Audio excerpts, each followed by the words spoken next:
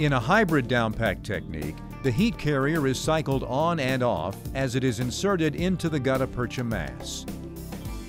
Initially, the hot carrier is inserted into the gutta percha mass several millimeters. Changes in the gutta percha color indicate where the material is being heated and softened.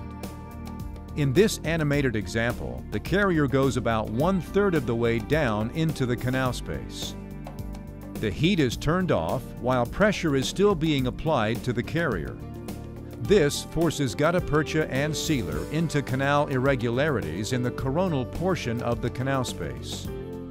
This cooling period pressure lasts about 5 seconds. The heat is then reapplied to the carrier and the instrument is forced several millimeters deeper into the canal space. The thermo-softening action combined with the downward pressure forces filling materials into lateral canals and other anastomoses in the mid-root region. Apical pressure continues to be applied to the carrier as the heat is again turned off. In this animated example, the carrier reaches within 5 millimeters of the apex during this 5 second long cooling and compression phase. A final one second burst of heat is applied to the carrier.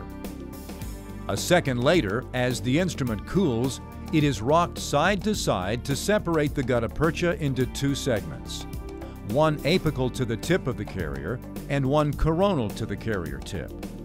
The cooling carrier is then removed from the canal space, leaving the apical plug.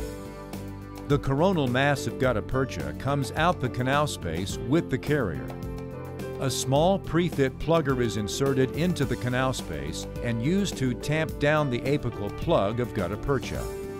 The plugger is removed in the final step of the hybrid technique, leaving the apical plug and the remaining space ready for backfilling.